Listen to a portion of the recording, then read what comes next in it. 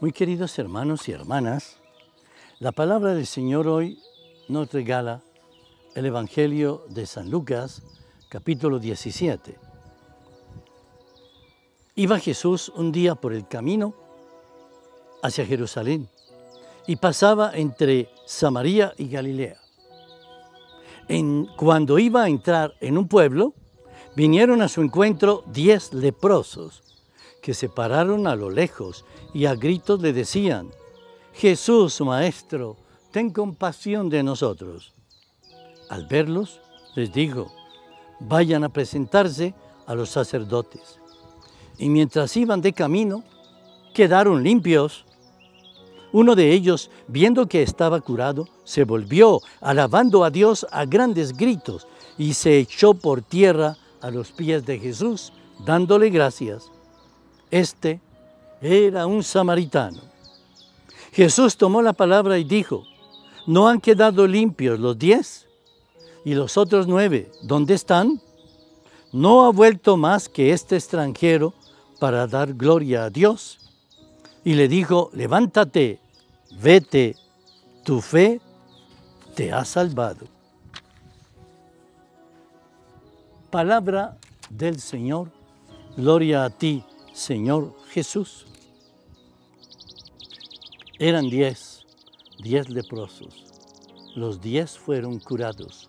Solo uno se acordó de volver a dar gracias a Dios.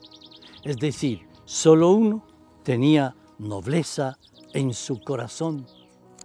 Solo uno era humilde y sabía que si fue curado fue bondad del curador Qué lejos de nosotros que ya olvidamos decir gracias. Qué lejos de nosotros esta actitud que creemos que todo nos es debido.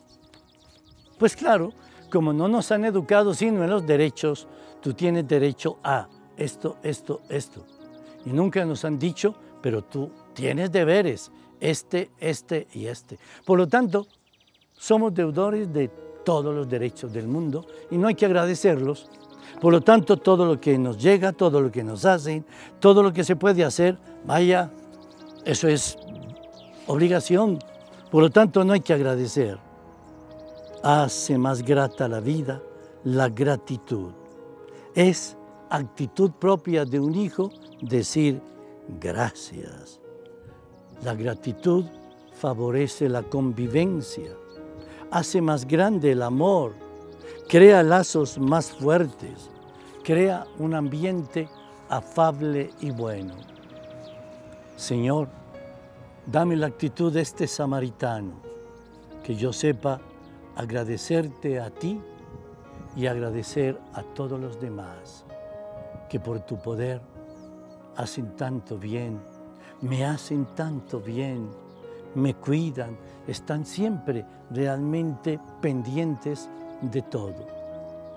En vez de gritarle a tu mamá, agradecele. En vez de gritarle a tu esposo o a tu esposa, agradecele el mero hecho de aguantarte, de aguantar tus groserías, ya es para estar muy agradecidos. Y a ti, Señor, te queremos dar gracias por la vida de hoy, por el mensaje de hoy, por tu amor de hoy y por tu bendición de hoy que se derrama en el nombre del Padre, del Hijo y del Espíritu Santo. Amén.